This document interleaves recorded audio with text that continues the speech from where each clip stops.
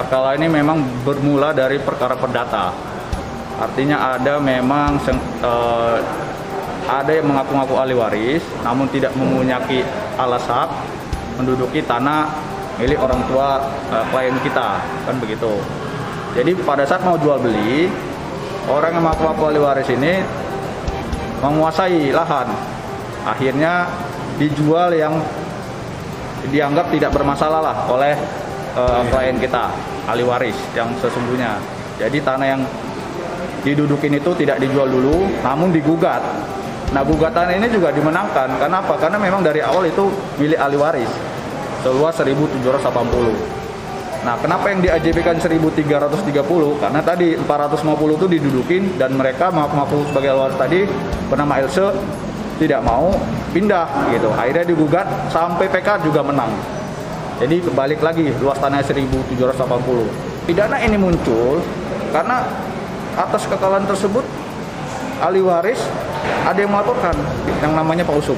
Katanya ada surat palsu atau keterangan palsu yang dibuat pada saat sebelum penjualan, yaitu surat pernyataan tidak sengketa. Kenapa dia anggap itu sengketa? Padahal dia tidak pernah menggugat juga. perkara pidana ini sendiri pun selama proses yang saya kawal ini banyak kejanggalan. Salah satu yang melaporkan ini bukan ahli waris juga, bukan yang aku ahli waris.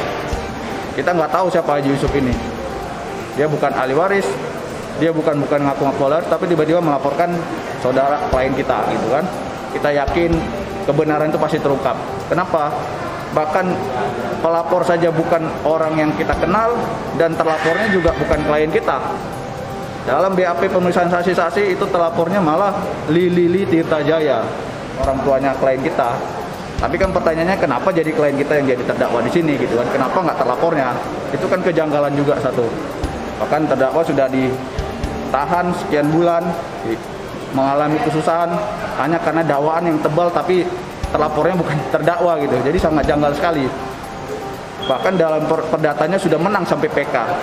Satu gugatan banding kasasi PK semua menyatakan itu miliknya ahli waris Liban Boy. Ahli waris Liban Boy ada empat.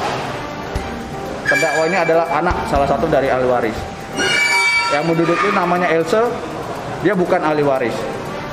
Akhirnya kalah sampai PK mereka menyingkir. Sangat prihatin ya terhadap perkara ini karena beliau tidak tahu apa-apa yang dilaporkan siapa namun beliau yang jadi pesakitan. Selain kita sebenarnya terhadap dakwaan ini juga kurang mengerti. Kenapa? Karena tadi saya katakan sebelumnya ini banyak kejanggalan. Kenapa?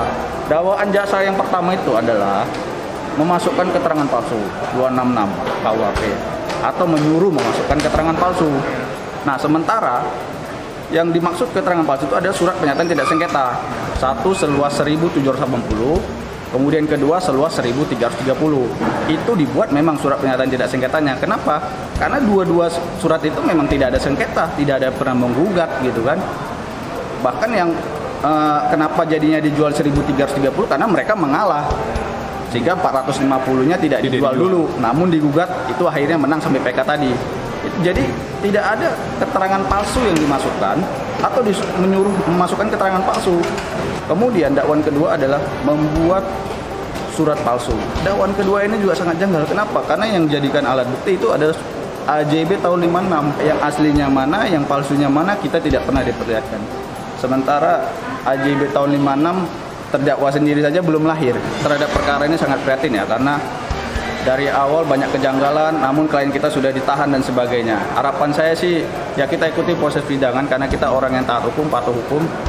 Kita akan proses semua ini sesuai aturan hukum dan saya yakin kebenaran itu pasti berdiri di sisi yang benar. Dia tidak akan berdiri di tengah-tengah apalagi di sisi yang salah. Jadi mari kita menguji kebenaran ini di persidangan melalui persidangan yang mulia ini.